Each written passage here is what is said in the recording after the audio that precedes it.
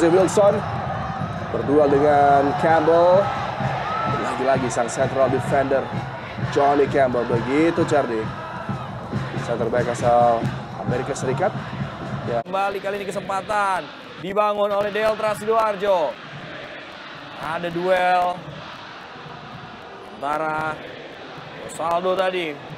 Campbell sangat ya, coba kembali bangun dari lini tengah yang masih bermain sangat disiplin dari Deltras. Terlalu memaksakan tadi Rosalvo. Aduh. Arya.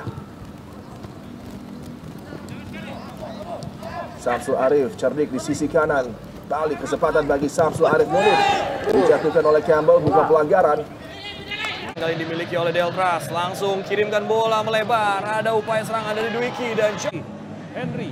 Umpan terobosan coba dikejar oleh Nakagaki. Ah! Ya jelas bukan sebuah pelanggaran. Lagi-lagi ya. Diki Kurniawan layangkan ke dalam kotak penalti Rensi. Yamaguchi. Dimas Soekarno. Ini dia. Masih ada Cam. Serangan dari Persela Lamongan. Ya, betul sekali. Dan kita lihat Safkati mampu direbut. Kembali. Biru Walidan. Campbell sangat baik memotong alur serangan dari Rafiot bersiap. Angkat bola Rafiot. Oh! Masuk pemirsa. Oh! Dia tidak ada penjagaan. Mudah bagi dia untuk mencepat tadi bagaimana positioning. Angkat bola kali ini. Dan oh, Dan ini saya kira juga menunjukkan bagaimana upaya ataupun juga fungsi dari Campbell ya. Bukan saja dia tinggi secara ini Johnny Campbell. Sisa kesempatan bagi Pertabeu dan juga Gresik untuk bisa menciptakan peluang tapi lagi-lagi Johnny Campbell menjadi penghalau. Penguasaan bola kali ini berhasil kembali diamankan oleh para pemain Persela Lamongan. Campbell. Ya, memiliki back yang juga. Kali ini kesempatan. Joe Campbell. Ya, sangat. Kim Do Hyun berikan kepada Johnny Campbell. Ball play. Kepada Johnny Campbell. Umpan ke sisi kiri dari Campbell. Yang penting bagaimana secara motorik ya dilatih ketangkasannya. Yes. Kim Do Hyun. Ya, Campbell. Masih Jonathan Campbell kita lihat. Campbell maju ke depan dia. Oh, Campbell baik sekali. Bersama dengan Rafael dan juga Fadi Rediana ada Johnny Campbell.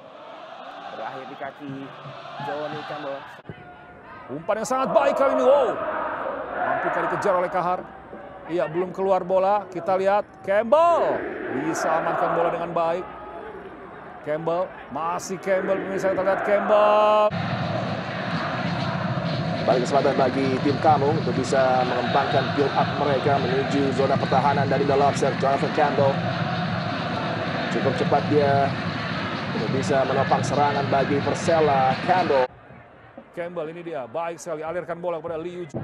Ya Alvin pindah di posisi back kiri ya. Apidin ada di sisi kanan. Liu Jun tendangan dari luar kotak penalti dengan kaki kiri tadi Liu Jun lakukan. Masih ini adalah Bekasi City. Ya kali ini Bagus Kurnia. Oh, hilangan bola dia.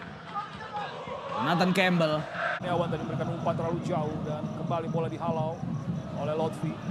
Johnny Campbell. Di STIK Jakarta Selatan masih sangat berhati-hati ini tim bermain. Finish di juru kunci walaupun mereka masih mungkin terdegradasi karena harus ada playoff degradasi.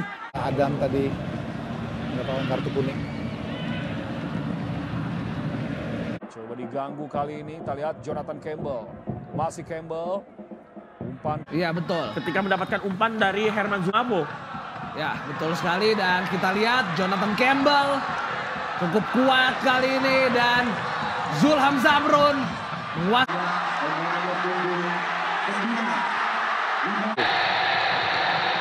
Sangat beresiko tapi Ikhwan Ciktadi sepertinya memenangkan duel dengan mampu mengklaim ini. Banyak berada di posisi tengah. Campbell. Oh, Rafia. Persela dengan jersey utama mereka biru langit coba kuasai ball possession di awal persaingan ini. Johnny Campbell umpan panjang tadi juga tentunya menuju persaingan di babak playoff 12 besar.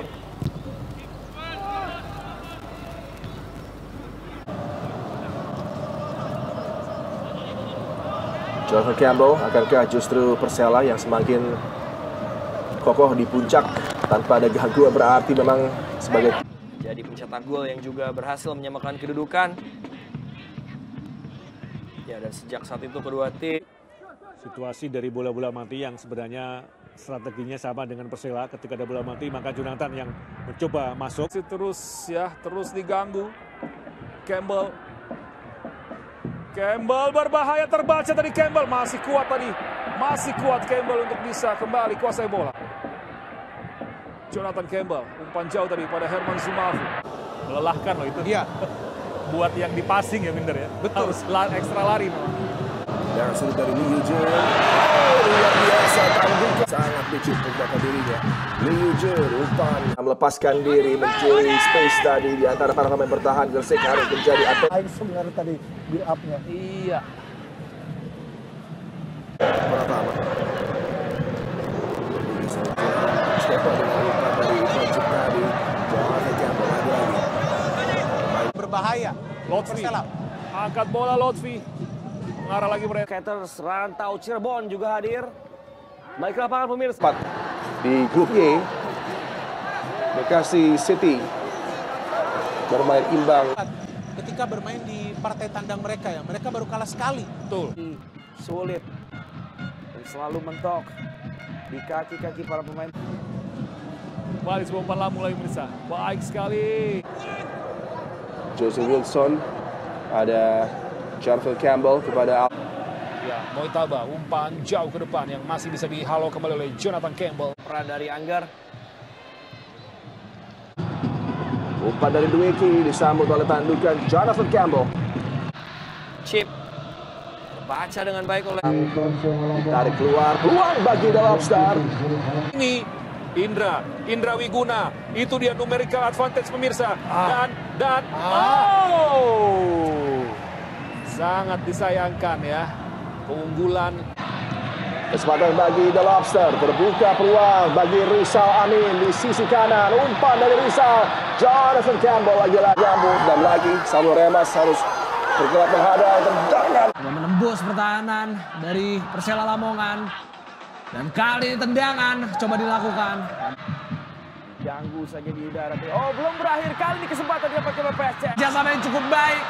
Dan sebuah kerjasama yang luar biasa. Saya sepenuhnya oleh Gresik United. Coba lari tadi. Samsul Arif Munib. Samsul Arif. Satu daerah dari pergerakan Ridwan Tawenela kali ini Oh, hari ya Jonathan Campbell mampu melakukan halawan. Kali ini. Umpan over the top berbahaya Eka Angger. Umpan tiang jauh tadi yang menjadi. Ya kali ini Pati berhasil di tackling dengan begitu impresif dan ya Awan Febrianto menusuk masuk. Ditutup rapat tapi sangat cerdik lawan Febrianto. kembali bisa direbut. Nakan kaki umpan terobosan. Intercept yang sangat baik lagi-lagi di peragam. Sulit sekali ya untuk mengorganisir serangan. Nakagaki dan Maditya. Kembali kita lihat. Haru Nagakagi. Oh.